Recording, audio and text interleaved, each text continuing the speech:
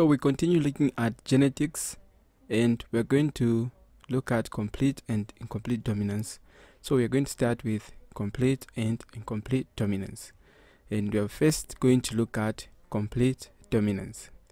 So a complete dominance is a type of situation in which the heterozygous and the homozygous state have the same phenotype. So a complete dominance is whereby the heterozygous and the homozygous state have the same phenotype.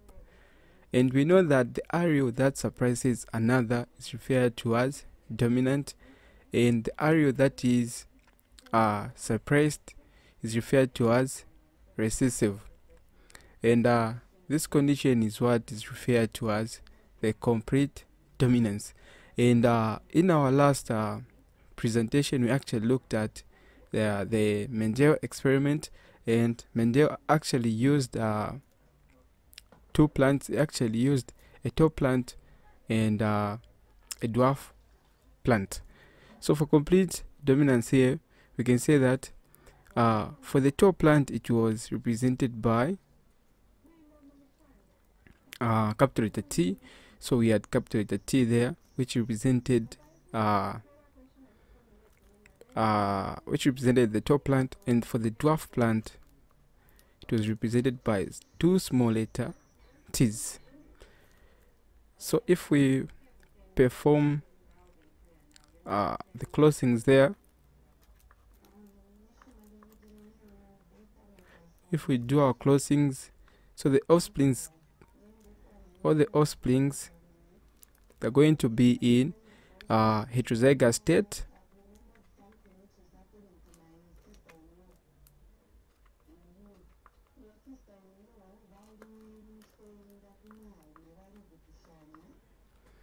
and uh, this will be the offsprings. And these offsprings are going to be in uh, heterozygous uh, state. And all these they're going to have the phenotype of toe so the phenotype the OB toe so auto. So as you can see if you have uh, if we have a T and a small letter t that represents toe and we have uh, two capital letter t's. All these represent uh, uh, the uh, the toe offspring or the toe uh, species. That means that complete dominance is a condition in which the heterozygous and the homozygous state uh, have the same uh, phenotype. And uh, we actually know that the allele that is uh, the allele uh, that surprises. That surprises another allele is said to be uh, dominant and uh, from uh, this uh, closing we can say that the allele that is dominant there it's T. And the allele that is suppressed. So the uh, the suppressed allele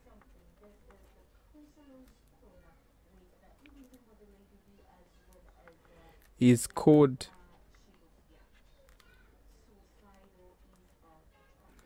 uh, recessive and from that uh, example we can say that small letter t is a recessive allele. Let us now look at incomplete dominance. So incomplete dominance is also referred to as uh, codominance. So this is the situation where there is no complete dominant gene. So this is a situation where there is no complete dominant gene. This means that the heterozygous organism will show an intermediate trend. So the organism that will be produced will show an intermediate trait.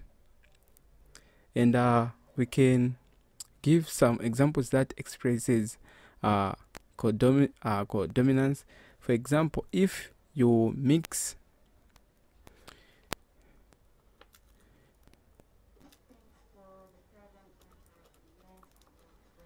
so if uh, you mix a a white coated cow and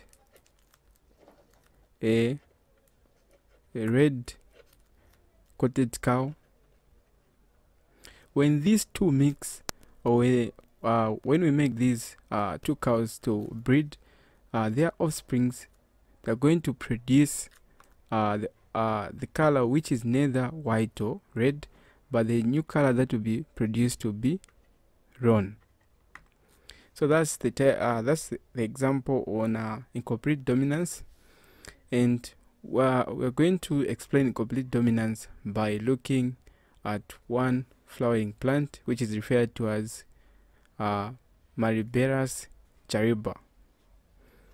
So uh, we're going to explain incomplete dominance by using this plant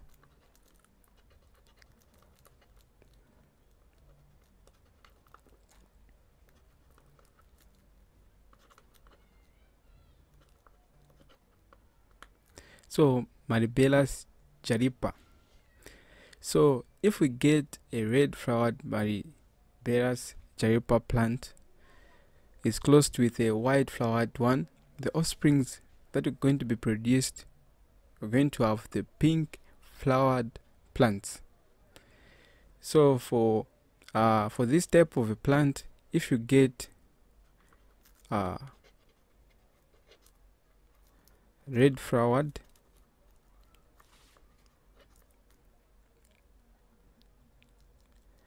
uh, red flowered and if it is closed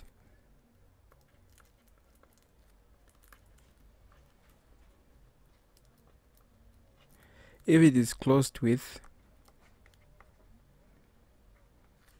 a white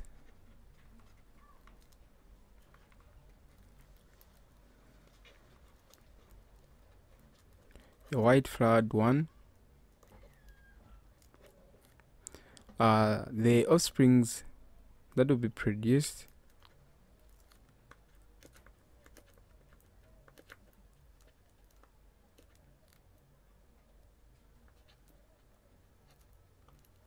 the offspring will produce pink flowered plants.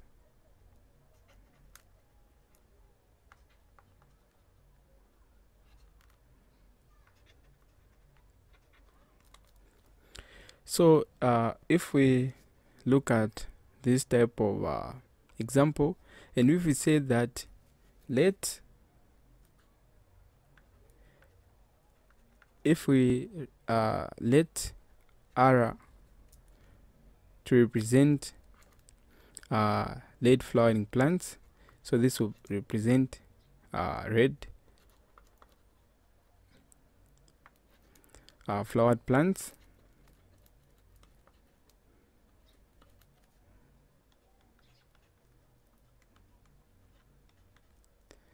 Uh, and if we say we use W to represent white flowered plants of uh, Jalapa.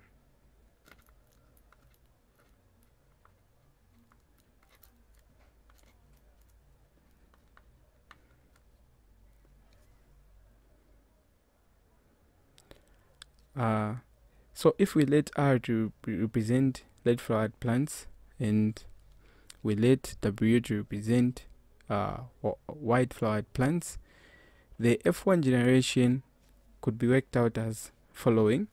So we can say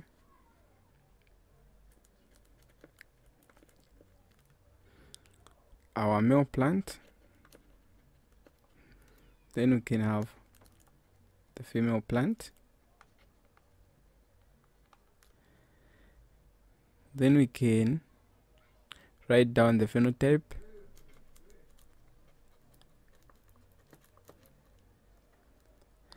so uh, for the phenotype our male plant there is going to be a lead flowered plant.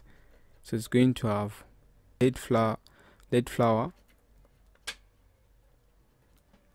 Then for the female it's going to be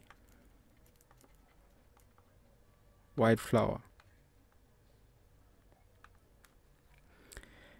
Uh, since we said uh, phenotype shows the physical characteristic of the organism and as you can see the phenotype for the male plant we have just written uh, red flower and for the female plant we have written white flower let us now write down the genotype for the genotype this uh this tests that this is the genetic constitution of an organism. So the genotype for male plant of a jalapa, that means that it has two capital letter R. Then that of a white flower, going to be represented by W and W. Then we can write down the gametes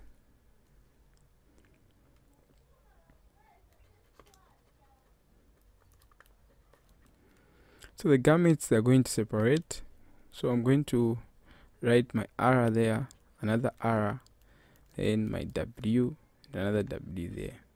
Then I'll perform the, the closings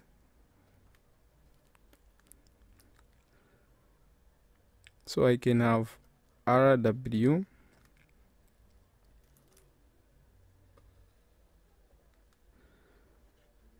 can also have RW there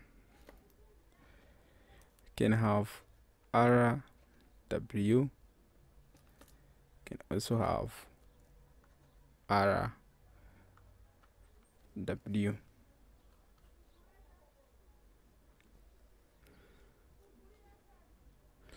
Then we can call this as F1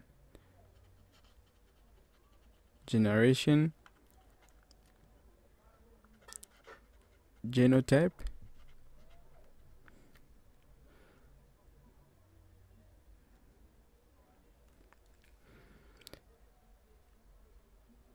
and uh, for the F1 generation let us write the F1 generation phenotype.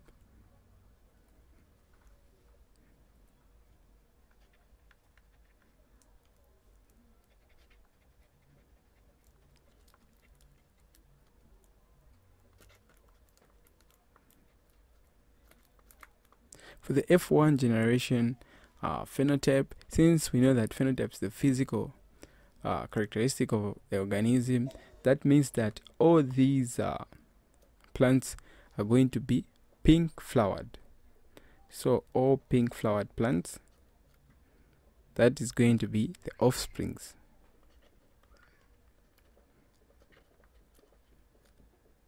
So all pink flowers.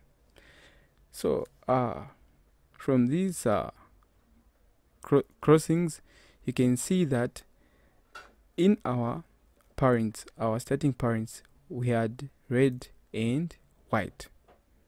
But the offsprings that were produced, they can be what? Pink flowers. So this is an example of uh, codominance or codominance or incomplete dominance.